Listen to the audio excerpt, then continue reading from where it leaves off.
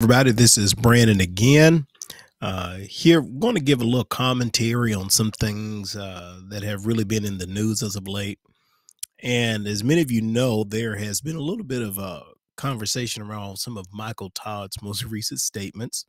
Uh, and I think he was trying to explain the nature of God and uh, some of the, uh, how can you say, apologetic watchdogs. They are just, they are having a field day. And I think it's died down a little bit, but it's still a lot of folks mad. Uh, and a lot of it has to do with the examples that he uses uh, to explain the nature of God, which I always say most, the average pew going Trinitarian is maybe confessionally Trinitarian, but they're modalistic in their devotion, which I always think is interesting.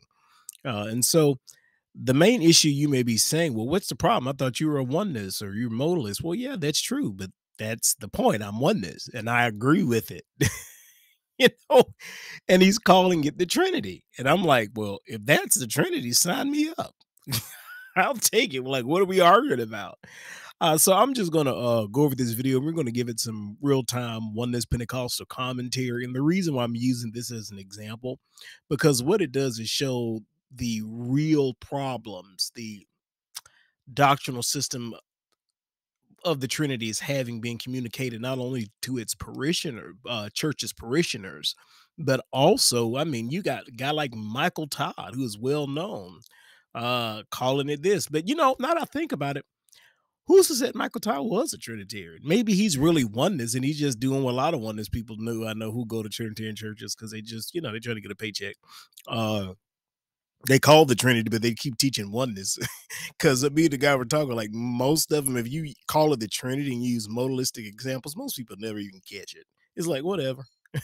yeah, but hey, let's play it. Remember to uh, share, rate, subscribe. Let somebody know we got an apostolic commentary going on, and we're going to give this a go. Let's hit play. When the Holy Spirit shows Hopefully, up, you can hear that. God's there and Jesus is there. When Jesus was on the cross, God was there and the Holy Spirit was there. At creation, when God was sitting there about to create, let us. Hmm. You can't separate him. Can't separate them. He's everywhere, Right. all the time. Well, Pastor, I don't understand. Remember, it's the mystery of God. The next verse. you, that was a bad intro. I don't care what you say. So my title is Praise the Lord. and I'm Isabella, MJ, and Ava Ray, and another little baby's father. How did I get four kids, y'all? I have to stop touching on personality. But Now that was that that was a little bit out of pocket. it's four no more. It's over. That, that was a little out of pocket. Like, okay, preacher. but I'm okay. a father, and my function is provider. Mhm. And in my status in that household is lead servant, and my location is to be present. Wherever my kids are, I need to be a present father. Let me show you this last version. I am a husband, and I'm a husband to one woman. Right. And I need to be very clear about this Right. because I've seen some of your DMs. Pastor Natalie is not the first lady, she's the only lady. So I need to be very Now I just want to throw this in, and this ain't none of my business, but perhaps maybe y'all should get a shared Instagram page. If that's a problem that you're having, especially with celebrity preachers, think ahead. You know, that sounds cute, but mm, shall I mention Le Lejon the Gray? Uh, so you know, you uh, you may may want to get ahead of that if that's what happened because you you do have church groupies. I just thought I'd throw that out there. Be clear. And she got hands. So I just want to make sure And that so you're here you. for spiritual wisdom and not a problem. That's why you need to But I use am those hands to start another a page. husband to one woman, and my function is her partner. And my status is lead servant for all my men that are out there. Can I give you a key real quick? That the status, wherever you are, men of God, you're supposed to be the lead servant there. So with your wife, you're supposed to be the lead servant. At your job, you're supposed to be a lead servant. That's a whole nother message for a whole nother day. But Now I ain't gonna keep up so much, but on the low, that re- that really was good though. I'm sorry, I I'm not a big Michael Todd fan. I ain't really with all that, but that that was that was a good point. I'll teach about that a little bit later. And where my location is, is wherever Pastor Natalie is at. Let me help you. Mike the pastor's here. You've seen Mike the pastor. here we go. Here we go. Here we Here go. Watch he this. is. Watch this. He's the man. Gives you a word. But do you know what's with me everywhere that I go? Is Mike the father, who at the moment that I'm giving you a word, ah. if Natalie calls me and tells me Now y'all see that that? my daughter failed Same person and has to changing modes. staples in her head, which actually happened this week. Mike the pastor was there, but he gone now. I am in the Father, and the Father in me. family is my first ministry. Right. God's not gonna ask me what he what I did with transformation. You don't abandon Church one while role Natalie and my kids sitting over there all broke up. He's gonna say you were supposed to love her like I love the church. Then then you come and love the church. Let me stop. I don't. This, this is a good marriage example seminar. of uh, but I need to simultaneous modalism. So so when the when pastor father shows up, my pastor's still there. So while we're at the the emergency room getting staples in my head, the ladies take not my head in Bella's head. Y'all pray for my daughter. That was so traumatic. But I'm sitting there, Wow. and while I was sitting there, the lady said, "I love your sermons." Uh oh. See the modalism? Another mode. Wow. Another mode. Heavy on the God bless you. modalism. I love it. I mean, And then they said, "We're gonna have to put some staples in your daughter's head." Changing the mode. It's all in him. How many staples? Because the pastor showed up, but the daddy had to be priority. So while my Mm. daughter's sitting there and I'm holding her and she's saying, Daddy, no, Daddy, and I'm holding her face, I'm not thinking about what I'm speaking on Sunday. But Mm. I showed up with the pastor, and when my wife, when we get home that night, she's in the bed and she begins to cry because the baby's keeping her up Mm. and she's feeling bad for Bella and MJ having insomnia. I do not bring. Now, Well, you know what the word says. this is really good information for ministers who don't know how to make a difference. I, I will say that is good practical advice. I really do agree. Some of y'all don't know when to bring out all of you. You just need to have crazy faith. I would. Look, say that you want to. Well, my be wife needed crazy me, single.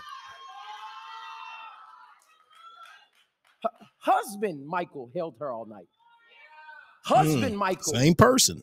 rubbed her feet. Same person though. Same person. what person. I'm saying to you is just like the Godhead, Mm, when one person of me shows up, right. the other two are there too. I agree.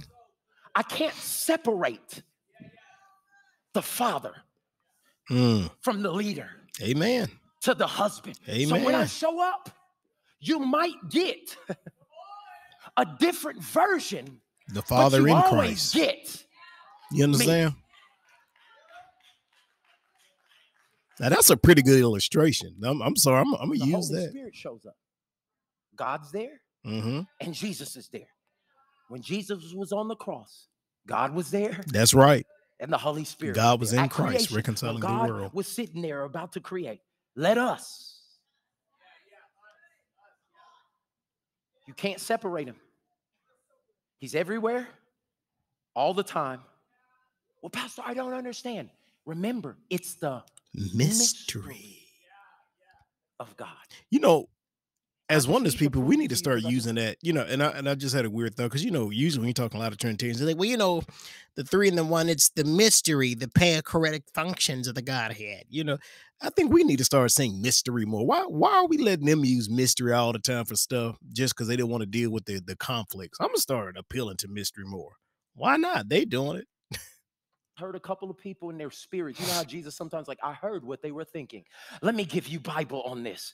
I'm going to show you through scripture Show us. where we see Jesus, Yeah. the Father God, and the Holy Spirit all at the same verse. Look at John 14, 16. And I, that's Jesus. Highlight these in your Bible so that you can be able to be sure and assured that the Holy Spirit is God. It says, And I, Jesus, will pray to the Father, Mhm. and he will give you another helper. That's the Holy Spirit, Mhm. and he- that you may abide with him forever. That's all three of them in one verse. Let me give you another one. John 14, 26. But the helper, that's the Mhm. Holy Spirit, whom the Father, that's God, will send in my name, that's Jesus' name. He will teach you all things and bring to your remembrance all things that I said. That's all of them in one verse. Let's go to Right. another one. John 15, 26. It says, But the helper, that's the Holy Spirit, comes um, when he comes, whom I, Jesus, shall send to you from the Father, the Spirit of truth who proceeds from the Father. He will testify of me. And just for those who are a little skeptical and you're like, but they're not all at the same place at the same time, I'm glad you asked for that. Because when Jesus was baptized, Uh-huh. he's getting baptized by John in Luke chapter 3, verse 22. And it says, And the Holy Spirit Holy Ghost. descended in bodily form. Talk about the mysteries of God. People say he he he descended like a dove. Yeah, yeah, or it was a dove. He wasn't a dove. It said he descended in bodily form. What does the Holy Spirit Mhm. look like in a body? Like a dove upon him, Jesus. And the voice came from heaven which said, You are my beloved son. That's the Father talking, and whom I am well pleased. God is always three in one, and the Trinity defers to each other.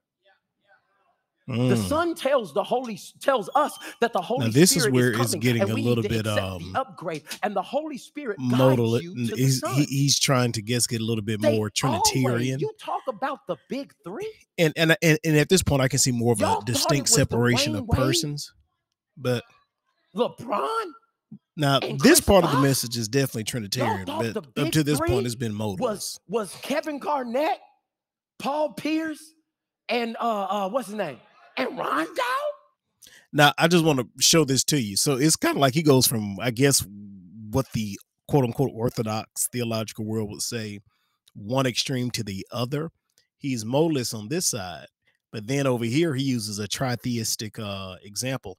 Was it Greg of uh, Nazianzus who said uh, who compared the Trinity to like three people, three human beings, uh, human race that they share? You know, I guess you get into the conversation of communicable uh, attributes.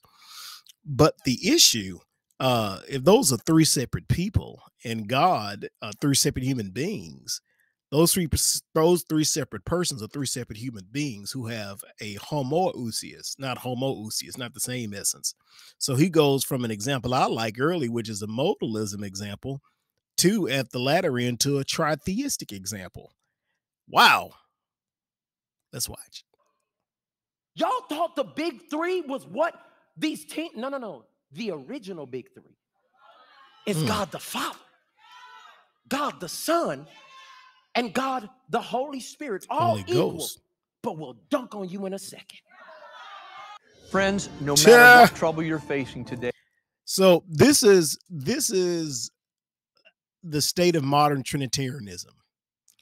Usually, when you find a Trinitarian today, like most of them are oneness and they don't know it, but either you get the ones who who call themselves Trinitarian but they're really oneness, or you get the ones who are so Trinitarian like they're aggressively rude, just like "Ah, I don't got militantly Trinitarian, you know. But this is interesting. You know the, the the the interesting part is a lot of people agree with this example. I'm oneness. I love this example. I'm I'm actually sitting here right now trying to figure out how in the world can I get a big life size picture of myself so I can flip it around different stances. Uh, cause that's a fire oneness example. I'm sorry, I love it. Now I know the apologists may not like it, but again, I mean, I like it. I'm a modalist. I mean, what you, what you want? I'm, it is what it is. So I think this is interesting. And again, some try to say, well, he just doesn't understand the Trinity. He doesn't understand the Trinity. He doesn't know what it is. Who said he doesn't understand the Trinity? Who said he was a Trinitarian? Because you must remember some of the first uh, Trinitarian controversies, or better yet, one the one way that some have classified modalism as a uh, as Trini- as a form of Trinitarianism, Trinitarian modalistic uh, monarchianism. Uh, so you know it's interesting. People say, "Well, he don't know what it is." No, just think maybe he does, and maybe he's just not a Trinitarian. But you know, I just want to go over there because I thought this is very interesting because it just goes to show uh you only get in trouble when you come out and just write forward and just say what you are. But remember, it's the whole gospel, the whole world. Share, uh, subscribe, let somebody know. We're having apostolic social conversations. Uh, the Lord bless you in Jesus' name.